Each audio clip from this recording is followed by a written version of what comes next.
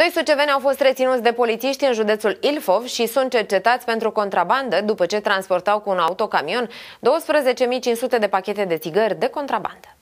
În urma unei acțiuni desfășurate de poliția română vineri seară în județul Ilfov, polițiștii au depistat trei bărbați care transportau cu un autotir zeci de mii de pachete de țigări de contrabandă. Cei trei au fost reținuți pentru 24 de ore. Astfel, potrivit poliției române, vineri 26 ianuarie, ofițerii Direcției de Investigare a Criminalității Economice din Poliția Română au desfășurat o operațiune de prindere în flagrant în localitatea Afumați la persoane fizice bănuite de săvârșirea infracțiunii de contrabandă contrabandă cu țigarete de proveniență non-UE. Astfel au fost depistați doi bărbați din județul Suceava de 33, respectiv 49 de ani și un bărbat din județul Ialomița de 32 de ani. Polițiștii au ridicat în vederea confiscării 12.500 de pachete, dintre care 5.000 de pachete cu timbru de acciză de Ucraina și 7.500 de pachete fără marcaje fiscale. De asemenea, s-a dispus indisponibilizarea unui autotir format din cap de tractor cu remorcă, utilizat la transportarea țigaretelor caretelor și a unui autoturism prin instituirea măsurilor asiguratorii. Bărbații au fost reținuți pentru 24 de ore, urmând să fie prezentați la parchetul de pe lângă judecătoria Buftea, cu propunere de arestare preventivă. Potrivit poliției române, cercetările în acest caz sunt continuate în cauză pentru documentarea întregii activități infracționale sub supravegherea parchetului de pe lângă judecătoria Buftea.